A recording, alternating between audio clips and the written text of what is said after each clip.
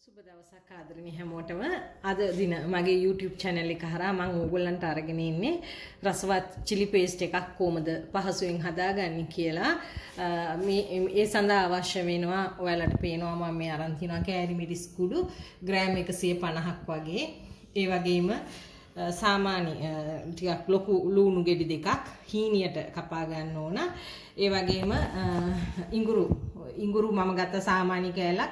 ගොඩක් හීනියට මම මේ කපලා තියෙන්නේ ඉඟුරු හීනියට කපාගත්ත කෑල්ලක්. ඒ වගේම සුදුලුණු සාමාන්‍ය සයිස් ගෙඩියක්. ඒකත් මම පොඩියට කපලා තියෙනවා. ඒ වගේම තෙල්. තෙල් මෙතන මිලිලීටර් 375ක් තියෙනවා. ඕගොල්ලෝ ඒ ප්‍රමාණය ගන්න. මොකද chili paste එකට තෙල් ටිකක් තෙල් ගතිය වැඩිපුර අවශ්‍ය නිසා මම ඒ ප්‍රමාණය ගත්තා.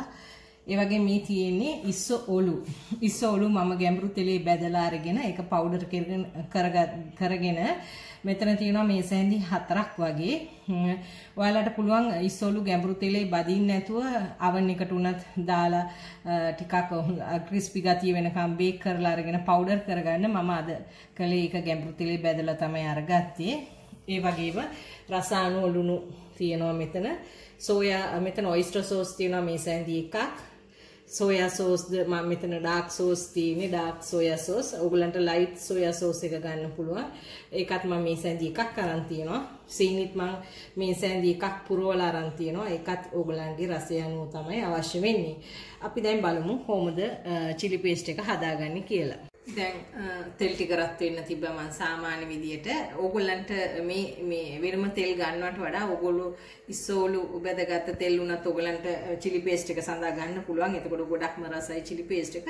නමුත් මම අද ගත්තේ අලුත් තෙල්, එළවලු තෙල්, ඕගොල්ලන්ට පොල් තෙල් ඕනම දෙයක් ගන්න පුළුවන්.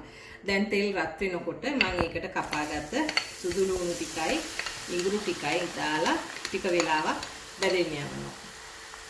දැන් සුදු ලුණු ටිකයි ඉඟුරු ටිකයි සාමාන්‍ය විදිහට බැදෙනකොට ඒකටම අපි කපාගත්ත හීනියට හීනියට පුළුවන් තරම් හීනියට ලුණු ටික කපා ගන්න ලුණු ටික කපාගත්ත ලුණු ටික මේකට දාලා හොඳට බ්‍රවුන් පාට වෙනකම් බැදෙන්න යවන්න ඕන.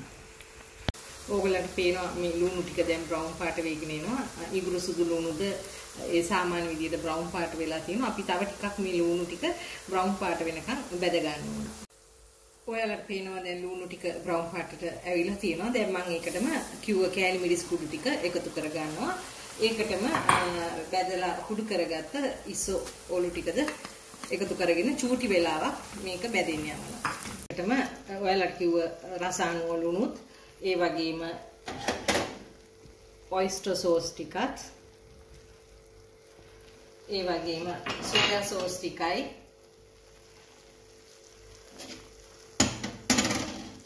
සීනි ටිකයි. සීනි ටික එකතු කරලා අපි හොඳින් කලවම් කරගන්න ඕන. මේකට ඕගොල්ලන්ට අවශ්‍ය නම් මැගි කියුබ්ස් ඕගොල්ලෝ කැමති නම් පමණක් මම පාවිච්චි කරන්නේ නැහැ මැගි කියුබ් සාමාන්‍ය මැගි කියුබ්ස් ඕගොල්ලන්ට දෙකක් තුනක් වගේ දාන්න පුළුවන්.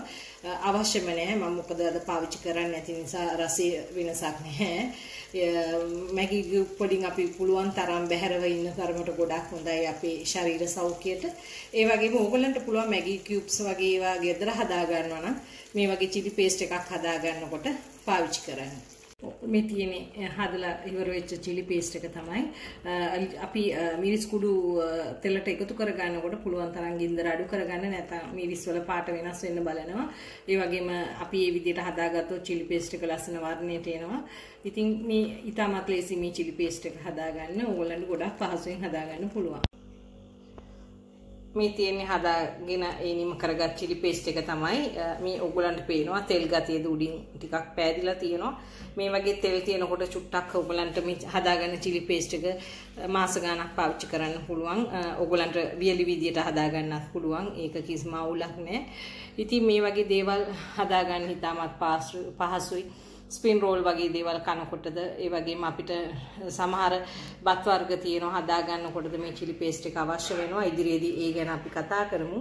ඉතින් මේ වගේ රෙසිපි ඕගොල්ලෝ ඉගෙන ගන්න කැමති නම් ඕගොල්ලෝ මේ වගේ දේවල් පහසුවෙන් නිවසේම හදා රස බලන්න කැමති නම් ඔයාලා මගේ YouTube channel එකට subscribe කර නැත්නම් subscribe කරමින් ඊට පහලින් තියෙන ওই bell අකුණ click කරන්න. එතකොට ඔයාලට අනිවාර්යෙන් මම ඉදිරිපත් කරනව හැම recipe එකම වීඩියෝ එකක් ඉදිරිපත් කරනකොට ඒ notification එක ඕගොල්ලන්ට එන නිසා. ඉතින් ආදරණීය ඔයාලට මේ වගේ recipe හැමදාමත් ඉදිරියේදී අරගෙන ඉන්න බලාපොරොත්තු වෙන. අද මම සමුග් ගන්නවා. හැමෝටම දෙවි පීටයි.